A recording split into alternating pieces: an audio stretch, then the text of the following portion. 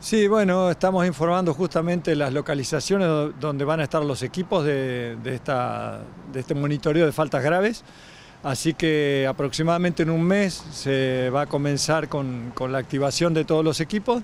Pero bueno, ya hemos dado a conocer en la página, en mardelplata.gov.ar, en movilidad, ahí están todas las localizaciones de lo que son los primeros 40 puntos, de los cuales hay 7 que todavía estamos en, términos de hacer la factibilidad técnica, o sea, hay, lugares donde hay que colocar algún tipo de torre y estamos trabajando sobre ello.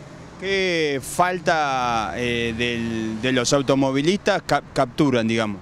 Bueno, en realidad, por eso le llamamos aplicación de tecnología faltas graves, es el exceso de velocidad con los cinemómetros y también lo que tiene que ver con la violación de luz roja o invasión de senda peatonal.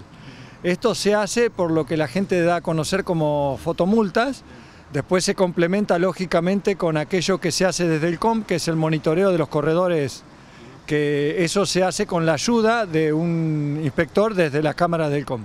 Esto es automáticamente captado por las cámaras, lo trata la UNSAM, la UNSAM tiene, demanda a la provincia la presunción de infracciones y luego la, la provincia valida o no esas infracciones y las notifica. Ah, pasa por la USAM, entonces le contamos a la gente que es la Universidad de San Martín. Tal cual, por eso, por eso hay una diferencia entre lo que es el monitoreo de los corredores a lo que le llamamos fotomulta. ¿Creen que va a colaborar y mucho esto para, para mejorar el tránsito? Mira, nosotros pretendemos que esto sea disuasorio. Eh, la idea no tiene que ver con el cobro de la multa, sino con que sea disuasorio. Por eso justamente lo damos a conocer 30 días antes, que se sepa la localización exacta de cada uno de los equipos pero además también estamos trabajando mucho en concientización. En la página, ahí aparece aquellos lugares donde hemos ido a hacer educación, concientización.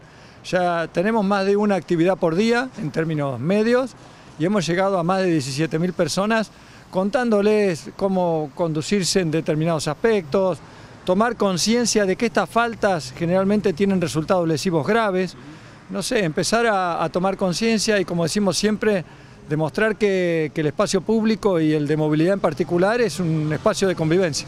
Una de las polémicas en torno a esto que nosotros denominamos fotomultas era la recaudación. ¿A dónde iba a ir? ¿Ya está destinado?